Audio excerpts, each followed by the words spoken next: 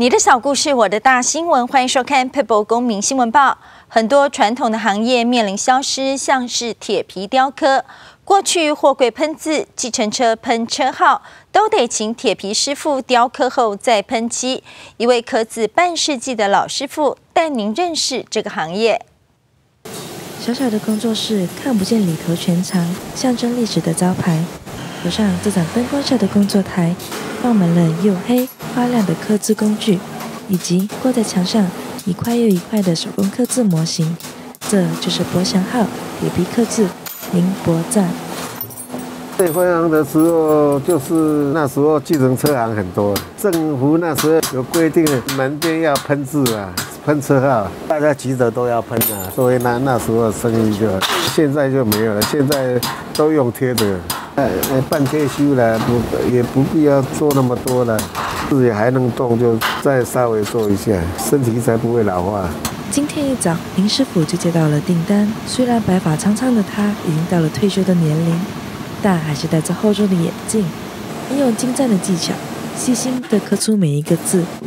现在就是要做货柜中心呢，要排直的上下，要喷灭火器的哈。他现在要先排那个铁皮，然后画格子，距离把它画出来。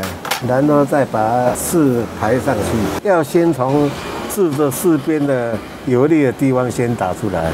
如果字大的就没有关系啊，字小那就比较细心。以前在学做这个时候，字都要自己写，写毛笔字，写不好看。现在有电脑，有软体啊，比较方便。敲敲打打看似不难，但笔画的每一个转弯、直线，都可能影响一个字的平衡与美观。因此，一刻也不能晃神。林伯赞以不一样的观点来看待传统技艺，它承载一个年代的风华，也演绎了兴衰。政府推动社区长照，桃园新生医专协助办理桃园市巷弄长照站，师生用专业为长辈开办课程，提供健康美味的晚餐。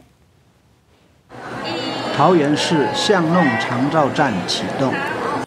我们社区有汉学校隔壁邻居嘛哈，他就请请我们过来看看我们体验老人的那以后的生活啊。陈峰文主任表示，本着服务社区长辈的理念，与桃园市政府社会局及卫生局合作办理桃园市巷弄长照站活动，自六月四日至十二月十四日，每周一到周五。